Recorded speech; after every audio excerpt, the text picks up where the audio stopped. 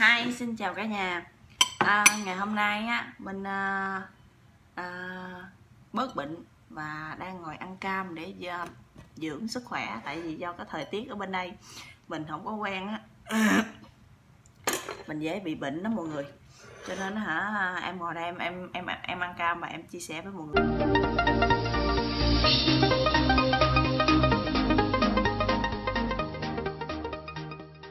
Cam Mỹ các bạn? Cam Mỹ này ở bên Việt Nam mình mua là hả, sáu bảy chục ngàn một ký lúc mà mình ở bên Việt Nam mình không dám ăn mấy cái loại này đâu. Mắc tiền, thấy tiếc. Mua rồi mình thấy là sáu mấy chục ngàn mình mua được ký cá hay ký cá mình ăn cơm cho cả gia đình rồi. Hmm. Và sẵn đây chia sẻ với tất cả mọi người. Rồi, bắt đầu mình sẽ nói với tất cả mọi người nghe nha. là có nhiều người á um, mình có chia sẻ một những cái video nói về uh, cô gái Việt đi lấy chồng người nước ngoài. Và chồng uh, người đàn ông ở bên nước ngoài họ rất là tốt và họ chăm sóc người phụ nữ rồi thế này thế kia. Thì có những người đàn ông á họ làm như họ ức chế họ khó chịu các bạn và họ ghét những cái người phụ nữ mà khi mà mà đi đi lấy chồng ngoại như vậy á họ nói là à, cái người phụ nữ việt á là hám hám danh hám tiền cho nên đi lấy chồng nước ngoài chứ có gì hay ho đâu mà lên khoe. À, đàn ông ở bên mỹ hả nó còn thua mấy người ở bên việt nam nữa.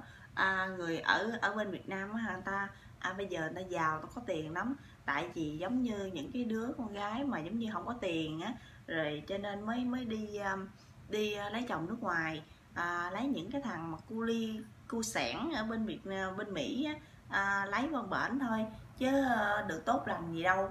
Mà lên khoe rồi à, ca tụng tụi nó làm gì mà ca tụng nước mỹ dữ vậy? Mình nói cái này mình không có ca tụng bất cứ ai hết mà ngày hôm nay mình làm video mà là mình nói lý do tại sao á. Là cái người phụ nữ thà họ chấp nhận họ lấy một cái thằng cu cu cu ly ở bên mỹ còn hơn là họ họ ở bên việt nam họ đánh đổi rất là nhiều thứ. Là mình, là bây giờ mình phải xem xét lại á, là mình hỏi các bạn á, cái cuộc sống bây giờ là nó cần tiền, đúng không? Và nếu như các bạn không có tiền, các bạn sẽ không sống nổi. Bây giờ mình nói một cái chuyện rất thực tế luôn. Đối với cái những cái cặp yêu nhau, mình nói thiệt chứ các bạn không những cái cặp mà đã yêu nhau rồi á, mà gia đình á hai bên không có điều kiện. Nhà ai cũng đủ ăn thôi. Đủ ăn, đủ mặc thôi. Không thể nào mà có thể dư giả lo cho con cái mình nhà cửa hay là xe cộ hay là bất cứ gì thì con cái mình phải tự lo. Đôi khi nó lập gia đình, mình còn không có mua cho nó được căn nhà nữa. Thì cái chuyện đó là nó phải tự lo, tự bươn, tự chải rồi. Thì cuộc sống đó, nó phải xông pha ra với cái cuộc đời, nó kiếm tiền.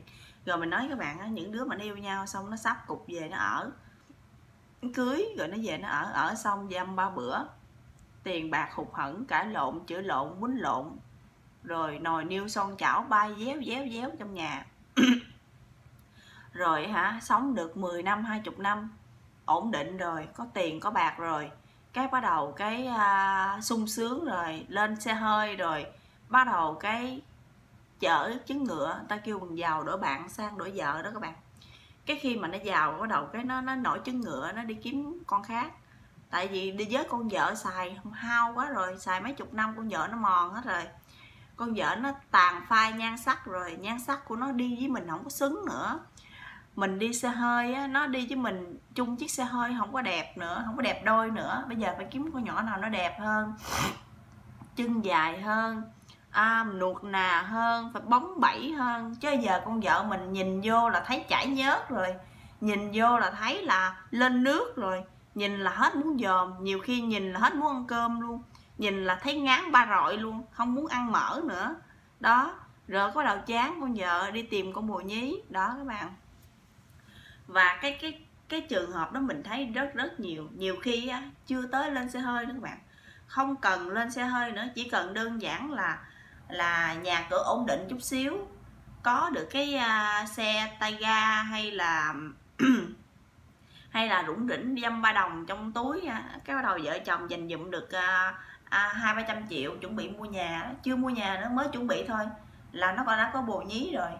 Chứ huống hồ chi là những người mà hai vợ chồng đã cắt cụm dành mớ tiền cái mua được căn nhà rồi cái bắt đầu cái là nhiều khi chồng nó không có gì nổi trứng ngựa mà những cái con giáp thứ 13 nó bay vô nó dâng hiến nó dâng lên tới tận miệng tận miệng luôn. Rồi hả là kêu bằng cá mà cá dâng lên tới thớt rồi xong mà làm sạch sẽ luôn. Cạo nhớt cạo dãy sạch sẽ bóng loáng luôn nằm sẵn chờ thời chỉ cần là gấp đũa là quất thôi. Đó là như vậy đó. Rồi mình hỏi các bạn chứ mèo dưng tới miệng mở à, mở dưng tới miệng mèo mà ai không ăn? Đó, rồi ăn vô là coi như mắc câu mắc câu, mắc lưới liền. Đó, rồi giống thứ mắc lưới rồi bắt đầu hả, lâu ngày vài tháng nó cho ăn, kêu bằng ăn bù mê thuốc lú khoảng à, năm, hai năm gì đó. Dính nó lâu ngày vài tháng rồi bắt đầu nó quậy lên, nó đòi quậy. Rồi còn không thì nó bắt phải ly dị vợ. Nó chuốt ngon, chuốt ngọt, mê con con bồ hơn con vợ, đi về bỏ con vợ. Đó là những cái trường hợp như vậy đó, cái người phụ nữ bên Việt Nam mình thấy sợ sợ quá. Và những cái cô gái mà mới lớn lên họ thấy là cái người đó mà người ta yêu nhau á 10 năm 20 năm ta về sống nhiều khi mình nói thiệt luôn, nhiều khi mình thấy nhiều cái cái ờ, cái đồng trang lứa với mình á, mà mình ở Sài Gòn mình chơi á, là tụi nó ha, yêu nhau á, năm, sáu năm 10 năm 20 năm ha, các bạn thấy ha, nó về nó ở với nhau 2 năm 3 năm ly dị 2 năm 3 năm ly dị đứa nào bền bỉ hơn chút xíu 10 năm. Cũng chấm dứt mối tình đó. Mạnh đứa ôm con đi. Mạnh thằng chồng ôm mùa tài ôm chiếc xe đi. Rồi là coi như tan rã từ đây. Mạnh ai nấy đi. Rồi các bạn thấy, đó là những cái trường hợp như vậy đó. Rồi mình thấy mình thấy có nhiều người họ thấy gì, họ bất mãn. Họ không còn cái niềm tin với cái cái cái cái cái cái tình yêu nữa cái người phụ nữ họ bất mãn không không còn niềm tin đến tình yêu nữa. Mà mình hỏi các bạn nè ngày xưa thì cái người phụ nữ lấy chồng sao? Thì cũng là do ba mẹ à, xem tướng xem tá cái cái thằng chồng rồi xem tướng thêm tá cái người à, cha người mẹ của con chồng mình rồi cảm thấy ờ ừ, được được mắt rồi à, ta kêu mà mua heo chọn nái mua gái chọn chồng chọn dòng đó. Cái người ta đi chọn những cái dòng giống tốt rồi những cái con người mà ba mẹ người ta tốt người ta bắt con mình ta đem gả thôi chứ hai bên cũng đâu gặp nhau, hai bên cũng đâu tìm hiểu gì. Nhưng mà ta vẫn sống ăn ở đời với nhau đó, có sao đâu, chuyện bình thường, mọi người thấy không? Ừ. Mà đối với bây giờ, cái người, cái phụ nữ bây giờ là người ta tân tiến rồi, người ta hiểu rồi.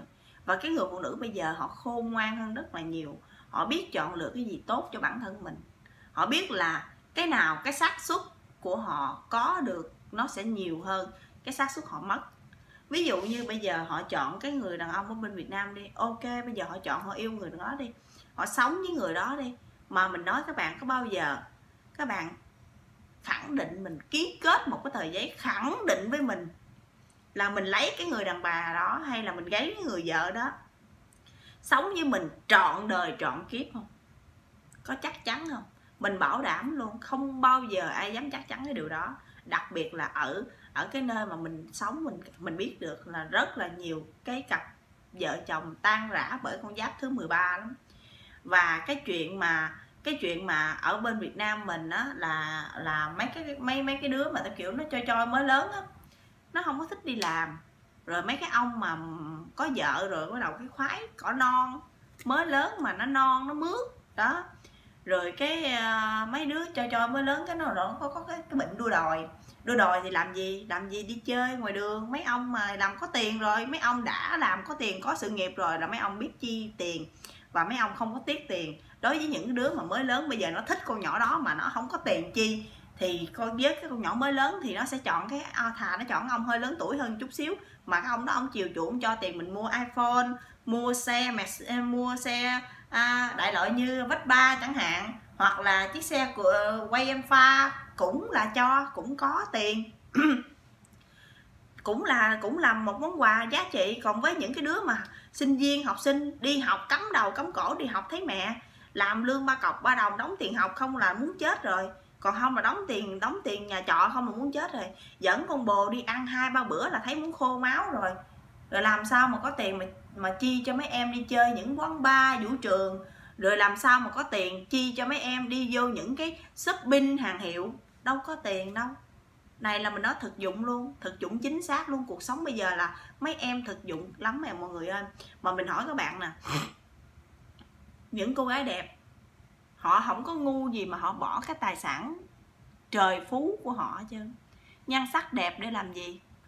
Ủa ngày xưa thúy kiều à, rồi à, à, những cái người mà phụ nữ mà đẹp nhất trong lịch sử Việt Việt Nam mình đâu đó những cái người vậy đó họ đẹp để làm gì? Ô thì cũng muốn là cái sắc đẹp mình có thể ờ, động đến cái ờ, cái cái, cái lòng của cái người à, kêu bằng thiên tử để được làm hoàng hậu. Để làm gì? Hoàng hậu để làm gì? Ăn sung mặc sướng xè tay 10 ngón chỉ là có có ăn thôi không cần phải làm.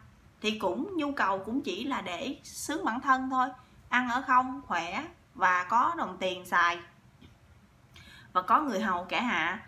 Thì đối với cái đối với cái người hiện tại bây giờ thì họ không thể nào mà họ có thể làm vợ vua được. Thì họ có sắc đẹp, thì họ làm gì? Họ cố tình họ dùng cái sắc đẹp đó họ tìm được cho mình cái người đàn ông tốt. Người đàn ông tốt để có thể về chăm lo cho bản thân mình, chăm lo cho những đứa con của mình và có thể có thể giúp cho mình có cái cuộc sống tốt hơn mình bớt bươn chải hơn mình bớt nhọc nhằn hơn. Người phụ nữ là người rất là khổ. Tại vì người đàn ông họ đi tìm họ đi kiếm tiền họ chỉ cực thôi họ không có khổ. Nhưng mà người phụ nữ rất là khổ. Họ khổ mọi điều luôn các bạn. Dạy con con mà hư á, thì con hư tại mẹ cháu hư tại bà. Đó. Còn nếu như á, hả mà mà lo chăm chồng không tốt á, thì con nhỏ này kêu mày mày lấy con vợ á, hả? Nó không biết chăm lo gì cho mày cho nhìn mày sơ cờ qua lá đó.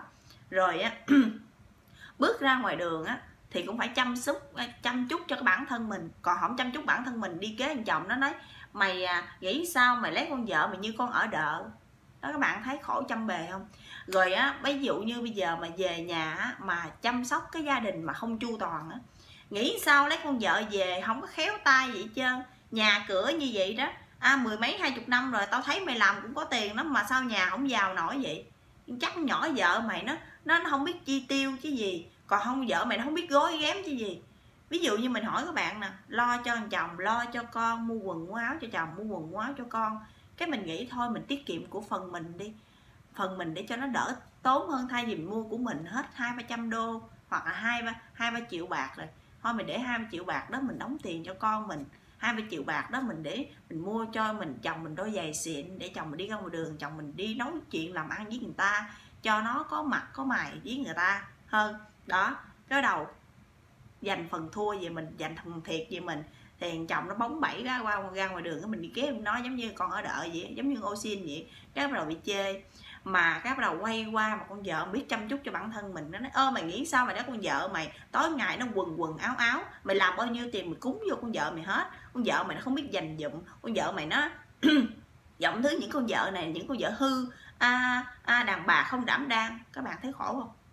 Chăm sóc cho bản thân mình thì nó nói mình ngựa mình ăn không ngồi rồi hoặc là mình lấy tiền của chồng mình mình à, mình chi tiêu mình à, đóng đảnh còn mình tiết kiệm dành dụm thì bước ra ngoài đường nó nói mình như con ô xin con ở đợi không biết chăm à, à, không biết chăm sóc bản thân. À mày lấy con vợ của mày tao nói thiệt mày mày đi mày sang chảnh cỡ đó mà mày đi kế con vợ mày nhìn nó không có xứng miếng nào hết. Cái thằng kia lâu ngày vài tháng mưa dầm thấm lâu nghe riết nó cũng nhột. Đi ngoài đường cặp kè con này con kia đó. Và lý do như vậy mà cái người phụ nữ Việt Nam bây giờ họ rất là sợ các bạn. Họ rất là sợ tại thường á cái tánh người phụ nữ Việt Nam mình á đi ra ngoài đường á có bóng bẩy cỡ nào lúc trẻ tung tăng cỡ nào quậy cỡ nào à, ăn chơi cỡ nào nhưng mà khi lấy gia đình rồi là họ sẽ dạt kêu bằng dạt 80 phần trăm. Hầu như là dẹp hết tất cả mọi thứ chỉ biết chồng con thôi. Đó là đúng là cái người phụ nữ Việt Nam mình rất là thiệt cho nên cái người phụ nữ Việt Nam bây giờ họ chọn một cái cách là đi tìm một cái nơi an toàn hơn để phải bớt khổ. Mình nói thiệt với các bạn chứ bây giờ á ở bên Việt Nam yêu một anh có tiền đã khó rồi. Chưa chắc nó có tiền nó yêu mình. Nhiều khi hả nó có tiền á cả chục con để đi. Mình nói thiệt luôn nhiều khi á hả đi quen một anh thôi nó không có giàu nó chỉ khá khá thôi rủng rỉnh thôi. Nhà có được chiếc xe chạy xe kêu bằng xe tay ga đó đó. Rồi có được chiếc xe tay ga chạy rồi xong rồi á à, khi mà mấy thằng mà có chiếc xe tay ga chạy có cái nhà trong hẻm thôi không ở ngoài mặt tiền đường cũng không có bự nữa, trong hẻm thôi. Có một chiếc xe chạy, mình nói thiệt luôn một mình nó quen bốn năm con. Một mình nó quen bốn năm con, nội đi gan không cũng mệt. Mình nói thiệt, hồi đó mình ở sài gòn là mình biết nè, nhiều khi mình quen mấy thằng nó không có giàu gì lắm, nó trung bình thôi. Đối với mình là nó chỉ là trung bình thôi. Mà mình nói thiệt, mình quen nó hả, nhiều khi nó còn chảnh chó nữa mà trong khi đó mình là một đứa con gái con của chủ tiệm vải nha chứ không phải là mình là là là đứa mà đi đi chạy bàn bưng bê rồi mà nó khi dễ mình thì mình không nói ha. Còn mình là một con của một, một người chủ tiệm vải lớn nữa. Đồ sộ nữa. Mà nó nó vậy đó mà mà mình quen nó mà nhiều khi hả nó quen bốn năm con. Tới khi mình biết ra ha đi mình đi mình giận hờn mình ghen nó không mình cũng đủ thấy mệt. Nhiều khi hả trước mặt mình thì nó nói là ừ anh anh anh biết mình em thôi mừng sau lưng mình bốn năm thằng bốn năm con cái người ta đi ngoài đường ta gặp nó mét đó mình hỏi các bạn có chuyện bên đó là ở việt nam là đầy. Đừng bao giờ mà nói cái câu là ôi làm gì có à, à, tại mày suy bụng ta ra một người. Không hề các bạn. Đầy rẫy ra đó. Tại tại là kêu bằng sĩ diện thì giấu thôi chứ đầy rẫy ra đó ai cũng vậy thôi. Và mình không nói là những cái thành phần mà tốt thì có chứ không phải không có các bạn. Nhưng mà thành phần tốt nó ít lắm. Mà cái cái cái số của mình phải tu mấy kiếp kìa. Mình mới gặp được những thành phần tốt như vậy. Chứ không phải khơi khơi mà mình gặp được đâu. Giống như là các bạn mà đi đải vàng vậy đó. Mình đi ra ngoài mình đải vàng vậy đó. Các bạn biết không?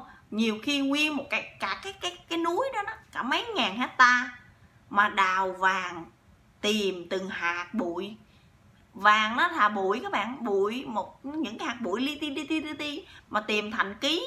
Thì các bạn nghĩ đi, mình tìm chồng cũng giống vậy đó, mình đi tìm từng hạt bụi của vàng mình mà đãi ra đãi ra trong ngàn tấn ngàn tấn cát, ngàn tấn đất để kiếm được có một hạt bụi, hai hạt bụi cát, hai hạt bụi vàng trong đó thôi. Thì mình nghĩ mình có đủ cái cái cái cái cái cái kêu bằng là đủ cái may mắn để có thể mà có được cái cái cái số vàng không? Về phần mình không? Thì cái tỷ lệ vàng ít lắm chắc không tới lượt mình rồi. Cho nên cái chuyện mà xác suất mà cái họ mà thất bại á, rất nhiều cho nên họ sợ. Và xác suất thất bại nhiều thì họ sợ họ sợ thì làm gì? Họ đi tìm cái phương án khác an toàn hơn. Ví dụ như á, những cái cô gái mà lấy chồng nước ngoài giống như minh vậy á họ đi lấy chồng nước ngoài ờ họ biết là đi qua một cái đất nước xa lạ như vậy nó sẽ có rất là nhiều cái khó khăn và đặc biệt là khi mà họ đặt chân qua đến những cái nơi như vậy là họ khởi đầu cái những cái điều của họ làm á, là cực kỳ cực kỳ mệt mỏi. Tại vì các bạn bằng con số 0 bước qua nước Mỹ là bằng con số 0 phủ một cái phẹp là coi như bằng con số 0 số 0 mà để làm lại từ đầu. Với những người họ có tiền họ có tài sản ở bên Việt Nam là mấy tỷ mấy chục tỷ mấy chục ngàn tỷ thì bước qua đây sống vi vu. Mình nói thiệt không có gì mà mệt hết trơn. Những mấy người mà ở bên Việt Nam mà có tiền á, bước qua đây sống như bà hoàng búng tiền cái chốc, đưa tiền vô ngân hàng, đặt cọc, đau mua nhà. Rồi đưa tiền vô, đặt cọc, đau mua xe. Trời ơi, qua tới đây là có nhà, có xe.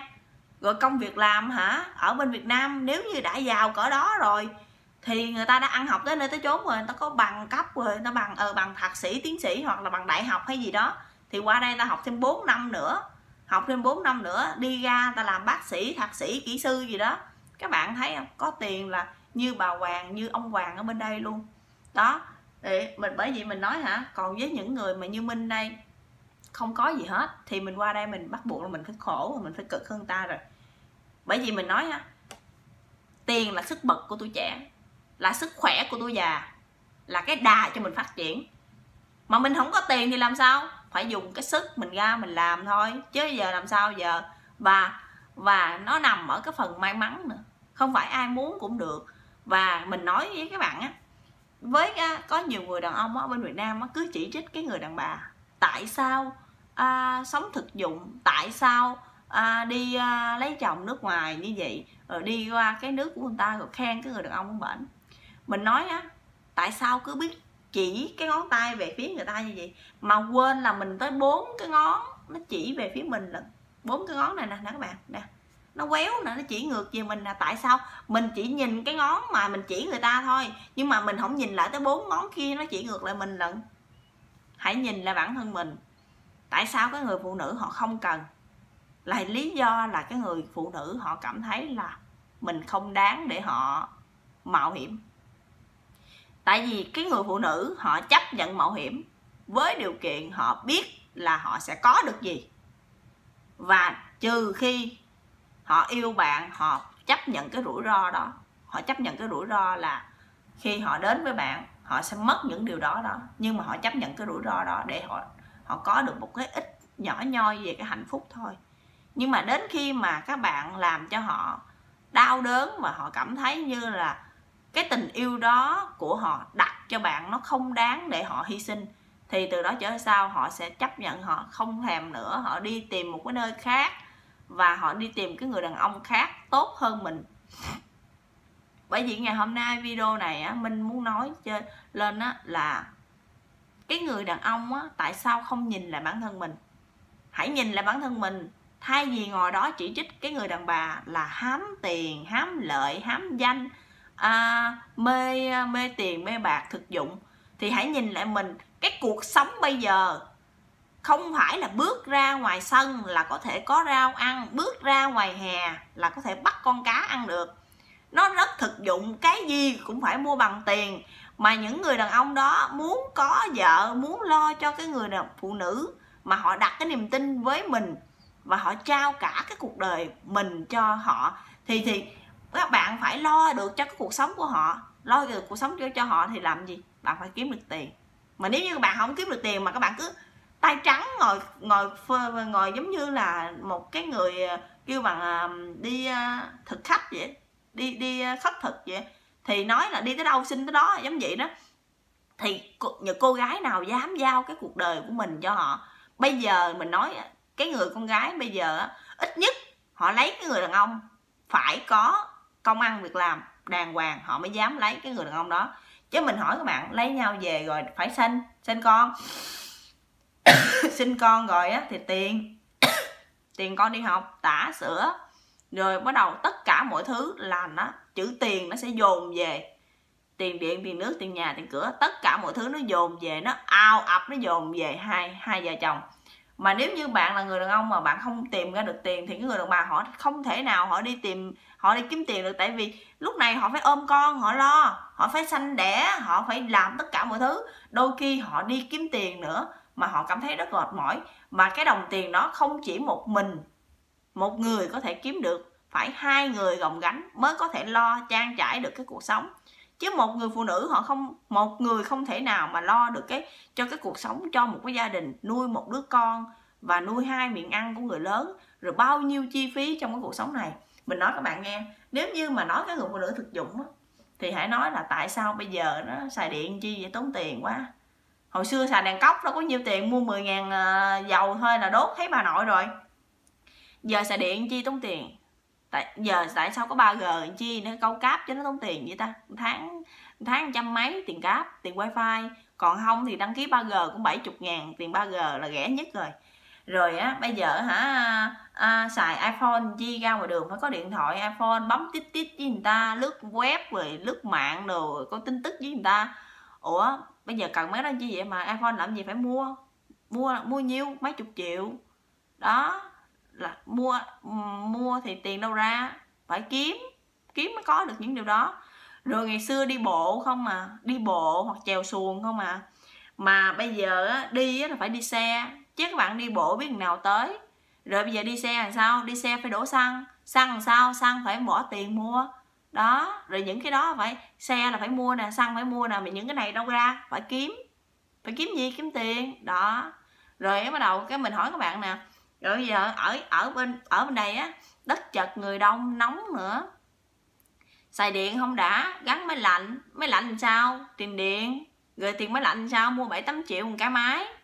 Rồi các bạn thấy bao nhiêu thứ đều là tiền hết. Mà các bạn nói là người phụ nữ họ thực dụng thì hãy suy nghĩ lại cuộc sống này nó bắt mình phải thực dụng. Không thực dụng là chết không thực dụng là đói. Tại vì bây giờ không thể nào mà mà theo kiểu uh, một nhà chanh máy lá mà mát rượi không cần phải uh, uh, máy lạnh. Còn bây giờ hả nhiều khi mình nói thiệt luôn ngâm mình với nước vẫn còn nóng. Thời tiết thì nó nóng lên từng ngày mà hả điện thì cần phải xài cái gì cũng cần phải xài cho người người ta lên tới cung trăng rồi không lẽ mình còn ở thời nguyên thủy à, đi ăn lông ở lỗ sao? Mà họ cứ cứ trách cái người đàn bà là là là làm là thực dụng. Mà không nhìn lại bản thân mình mình phải đi đua, mình phải đua theo người ta. Chứ không thể nào mình ngồi ở đó mà mình trách cái người người ta chạy. À, giống như bây giờ tao ngồi ở đây nè. Ờ tao ngồi ở đây tao không chạy. Tụi mày chạy thì tụi mày chạy đi. Ô mấy đó chạy làm gì? Ngồi ở đây từ từ cũng tới. Các bạn ngồi thì bao giờ các bạn tới? Không đi bao giờ mới tới. Mà trách cái người người ta đi. Ơ tụi bay gấp gáp quá. Tụi bay đi làm chi vậy? Mà, nhiều khi mình chạy á, mà còn không kịp với người ta nữa kìa. Huống hồ chi mà ngồi một chỗ. Trước khi á trách cái người phụ nữ thì hãy nhìn là bản thân mình. Tại sao mình không cố gắng để mình làm một cái người đàn ông tốt để cho cái người phụ nữ họ gặp mình là họ sẽ không bao giờ từ chối mình? Trong cái xã hội á mình nói các bạn nghe ở bên Việt Nam có rất nhiều người người, người phụ nữ may mắn lắm. Gặp những người chồng ở bên Việt Nam họ làm thành đạt rất thành đạt. Và những cái người phụ nữ đó họ gặp những người đàn ông đó thì, thì bao giờ tới được mình. Người ta đã gặp là ta đớp rồi đâu có buông ra để cho mình hưởng nữa đâu cho nên hả, bây giờ hả, phải có nhiều người đàn ông tốt hơn nữa thì cái người phụ nữ họ mới không có tìm đi đến chỗ khác. Nếu như cái nơi đó có nhiều cái tốt quá và có nhiều người đàn ông tốt quá, họ đâu có cần phải đi kiếm. Giống như mình mình gặp được những người đàn ông tốt nhiều quá thì mình sẽ không cần phải đi những cái nơi khác mà mình tìm cái cái cái cái cái sự may mắn ở một cái nơi mà mình không biết đến như vậy. Cho nên ngày hôm nay mình làm video nói lên cái tâm sự của cái người phụ nữ việt mình cho những cái người à, mà nếu như thật sự những người đồng quan điểm với em mà những người đang nằm trong cái hoàn cảnh cũng giống như em như vậy thì hãy like cho em một like và đừng quên đăng ký subscribe nếu các bạn là người xem video đầu tiên à, của cái kênh của em. Và các bạn nhớ cảm thấy video ý nghĩa và các bạn muốn đó lan tỏa đến tất cả cái người đàn ông mà họ mà các bạn muốn họ nghe họ biết về cái tâm sự của người phụ nữ mình hãy share về kênh của mình nha các bạn